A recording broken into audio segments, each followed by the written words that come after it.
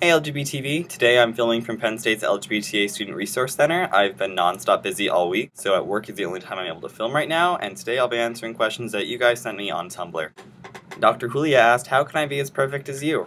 To assist in answering that question, here is one of our other interns, Michael. How can you be as perfect as me, Michael? First, you want to wear stilts. Second, you want to dye your hair blonde. Third, you want to pay way more to dye your hair blonde than is sane in any sense of the word. And that is how to be as perfect as me. Do you think I'm awesome, Rebecca? It's just been No. a lot of things to do today. This is my boss.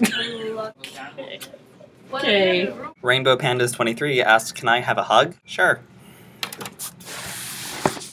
Ferbalicious asked, What's a positive thing you've experienced since coming out? Meeting me! No. Probably one of the most positive things about coming out is the community that you find after you come out as being lesbian, gay, bisexual, transgender, or an ally.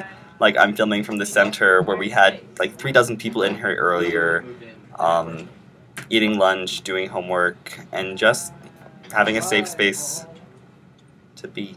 You meet so many excellent people from so many different backgrounds that being in the LGBT community is just basically the best diversity training that you will ever have. Haru Pao asked, What advice would you give to people who live in small towns who could be harmed if they come out? If you think that you're going to be in physical danger by coming out, the best advice that I can give you is to not come out. If you're in high school, wait until you go to college and definitely try to go somewhere else for college and get out of the small towns because small towns tend to be more conservative. Um, and I'm even just in a town of 80,000 people and we have this liberal bubble because Penn State's here. Find friends who you can talk to and who can support you along the way because just shutting yourself up is a really bad idea. So having a few allies, even if you can't tell your parents or be completely out, that's going to be a lifesaver. Ah. TD23 Muel asked, Where's the weirdest place you've ever waxed? And I don't want to answer that question, but I know my friend Josh will. Well, like wax wise, it's just like my face, like here. Your face? And like You're going to say your dick. I have nared before. Really? Mhm. That hurts. It's no Don't use Nair. ever. I can't imagine wax would be much better. Wax isn't bad. It's not that bad. Get over it. It's not that bad.